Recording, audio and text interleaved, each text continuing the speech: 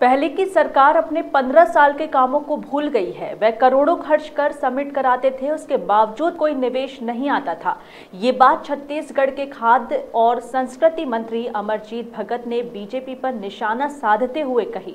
इस विषय पर एमकेन के संवाददाता ने कैबिनेट मंत्री अमरजीत भगत से खास बातचीत की। देखिए हमारी खास रिपोर्ट। मंत्री अमरजीत भगत हमारे साथ मौजूद हैं। भाजपा का आरोप है कि सरकार के पैसे से घूम रहे हैं और अभी तक साढ़े तीन साल हो गया सरकार का, लेकिन निवेश नहीं ला पाए?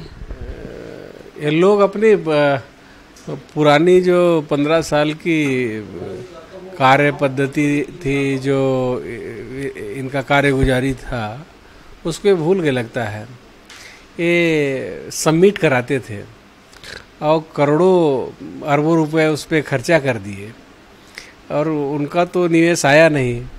अब अगर हमारे सरकार की तरफ़ से प्रयास हो रहे हैं तो इनको आपत्ति नहीं होना चाहिए। तो ये थे छत्तीसगढ़ के संस्कृति और खाद्य मंत्री अमरजीत भगत। सरकार के साढ़े तीन साल पूरे हो गए, डेढ़ साल बचा है।